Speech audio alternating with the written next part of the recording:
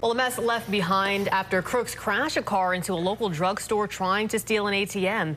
It happened at the CVS on Creedmoor and Norwood Roads this morning just after 3.30. According to the Wake County Sheriff's Office, the burglars tried and failed to steal an ATM from the store. So far, nobody is in custody.